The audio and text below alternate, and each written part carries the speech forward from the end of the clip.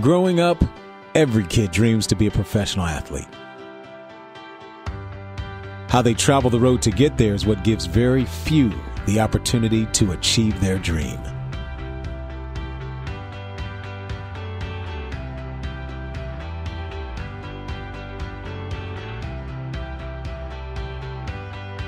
After four years in Charlottesville, it is time for Morgan Moses to take that next step in his football career and join the likes of D'Brickashaw Ferguson, Eugene Monroe, and Branden Albert as highly touted NFL offensive linemen.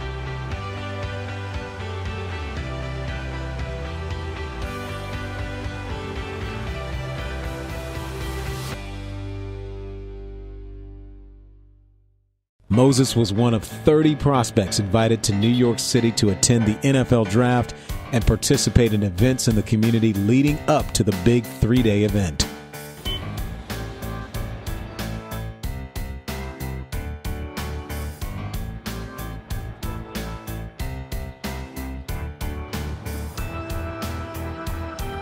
It began Wednesday morning with the NFL Play 60 Youth Festival at Chelsea Waterside Park.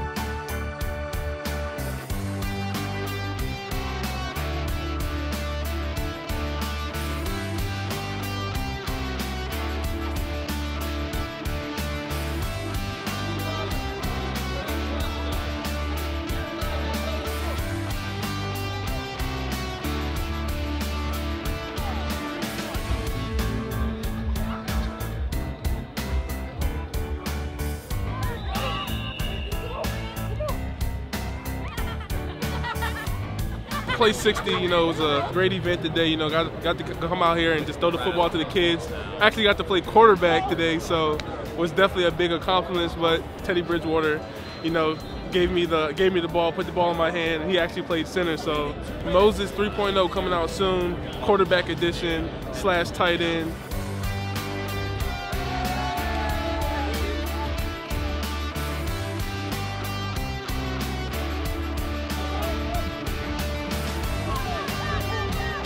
Further just, you know, coming out here enjoying the day with the kids and just getting around and running around, tossing the football, dancing, touchdown dances and all that. It was a great deal. Just happy to be out here.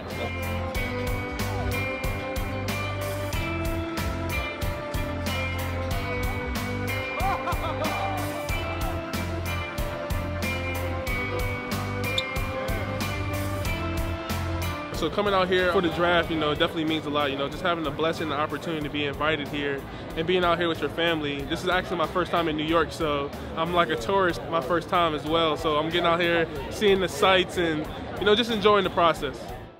Wednesday would come to a quiet end, with just hours to go before the biggest days of these young men's lives.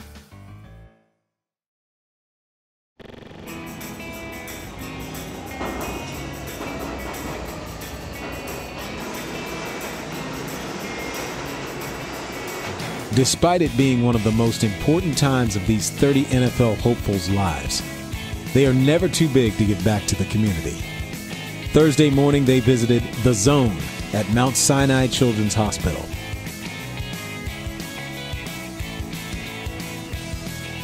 The Zone is an area of the hospital funded by Garth Brooks and Troy Aikman that allows the patients to forget about their medical issues and play games, color, read, and even be on a television show. This was a perfect opportunity for the prospects to get their mind off of the draft and get back to those who may not be as fortunate as they are. Being able to interact with all the kids and uh, you know play pool, play video games, and uh, you know just uh, be able to walk around with them and, and put smile on kids' faces. So uh, you know it got a little competitive out there with the Uno, the Uno game, but uh, you know we didn't we didn't get to finish it, but that's just a blessing to be able to give back. You know, it's, not, it's never about just just football, but how you can impact other people's lives. After their community service, Moses and company returned back to their hotel and had the chance to relax and get ready for the big night.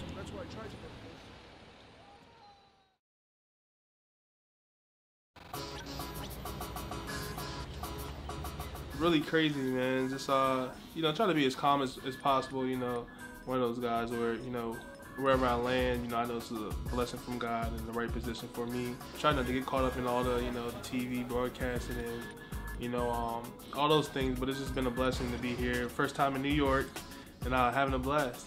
Right here is the, you know, it's the masterpiece right here. It's the draft day suit, and uh, you know, going with a little blue right here.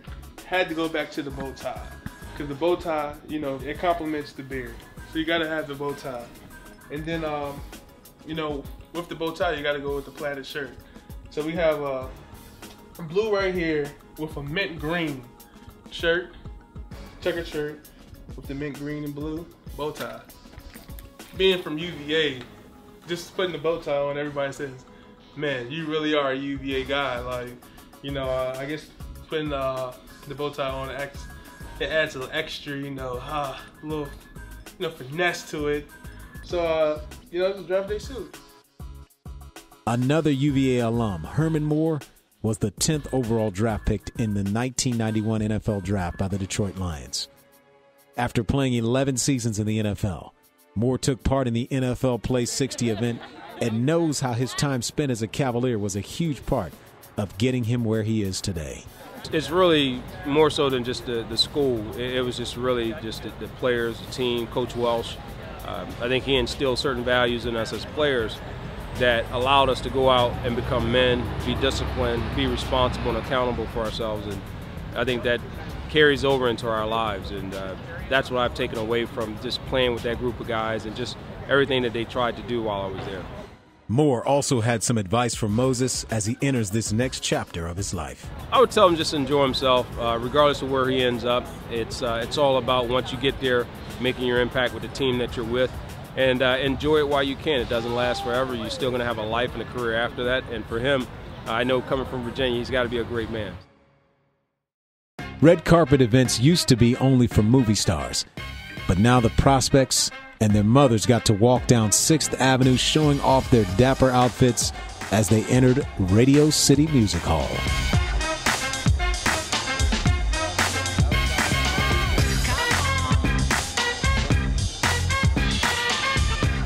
You know, it's, uh, it's crazy, you know, it's all these people around here in New York, and uh, you know, it's nothing like this. You know, I'm out here with my family and I'm enjoying the process, and it's been a, been a great process, and uh, you know, just taking it all in right now. Not only just to have my mom here, but to have my family, my offensive line coach, my girlfriend. You know, uh, what what better circle of support to have around you? Uh, being at UVA, you know, definitely coming back from my senior year after thinking about foregoing my senior year to, to, to enter the draft, you know. Um, definitely was a, a, good thing for me, you know, just being able to stay around that last year and just gain more knowledge of the game and just mature myself as a person and as a man off the field.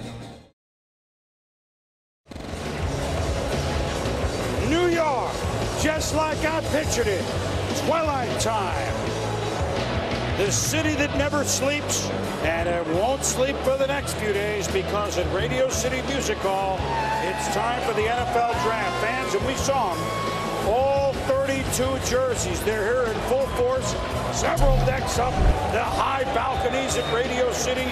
Over 80 years of entertainment and the home for the 79th NFL Draft.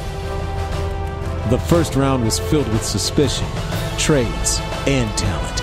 Unfortunately for Morgan Moses, though, he was not one of the 32 first round draft picks. The Minnesota Vikings have traded the eighth pick to the Cleveland Browns.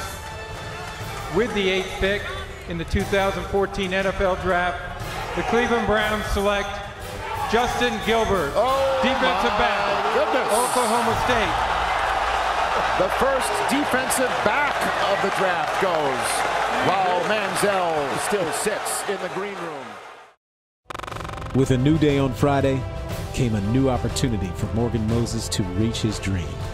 He and nine other prospects returned to Radio City in hopes of getting selected in the second or third round and walk across the stage to shake Commissioner Roger Goodell's hand.